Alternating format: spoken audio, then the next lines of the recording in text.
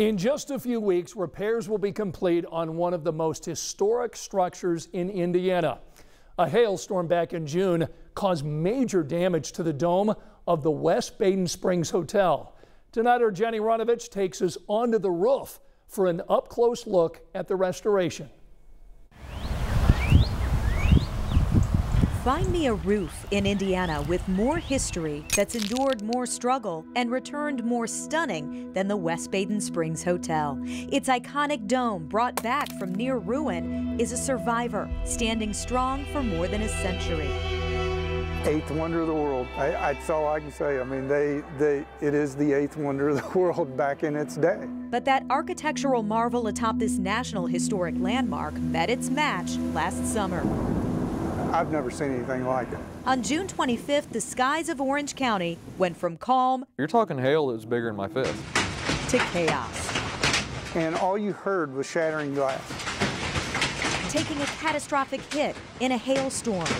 The first thing was, oh my gosh, is, is everyone okay? They were, but that famous dome sustained serious damage. Every single pane of glass, 77 in each of the 12 panels, punctured, 924 total. They were all damaged. There wasn't one that survived. It wasn't just the glass. Tiles, shingles, metal cupolas hurt too. Millions of dollars in damage.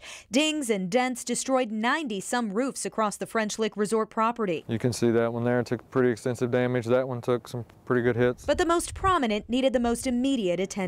They closed the atrium to guests right away, and a contractor got to work on restoring history yet again. And he, he said to me, he said, when do you ever get to work on a structure like this?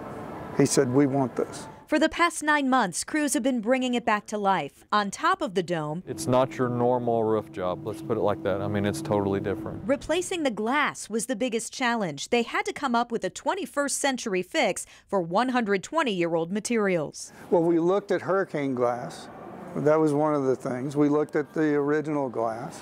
They settled on something called Lexan. These new panels aren't glass at all, but made from a thermoplastic polymer. It's shatter resistant, hail bounces right off. It's 250 times stronger than the glass.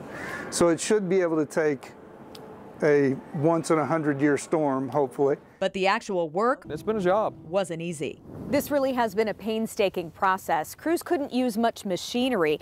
They really had to carry all the materials and supplies up the scaffolding over the roof by hand. Then once they got up here, they had to hook onto a chain and a rope and scale down the dome to place all of the glass and shingles.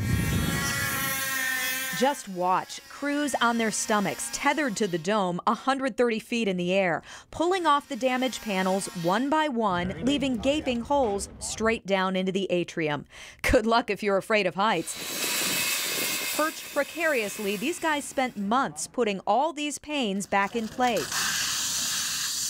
You can see the clear difference between old and new.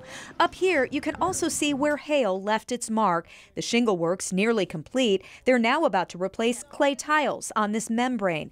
Most of what was damaged was original to 1902 and has to be attached carefully. Would go like something similar to this, and this is where it kind of start.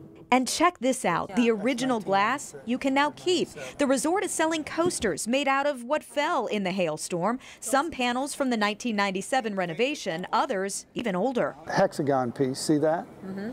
That is 1902. That's original.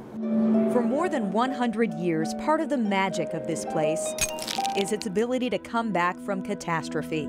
They've done it before, and now... It's been really a labor of love to put it back together. It's being reborn again. In West Baden Springs, Jennie Runevitch, 13 News. What a fantastic story. How about Jennie Runevitch walking around on the dome roof? That's pretty cool. So the resort told her that repairs to the dome will be finished by the end of this month. In fact, there's another historic restoration at West Baden going on right now to a building abandoned during the Great Depression. In fact, we got a sneak peek inside. Check this out. This is the bowling and billiard pavilion, which is near the hotel garden. This has been vacant since the 30s, even lost a wing years ago. So construction crews had to protect it from flooding.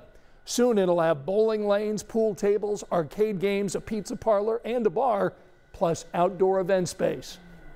So we're bringing it back to life. Uh, it's probably the largest structure on property uh, that we haven't restored yet. And we're bringing it back to the same life that it had 100 years ago. The resort says the new pavilion should be open by Labor Day.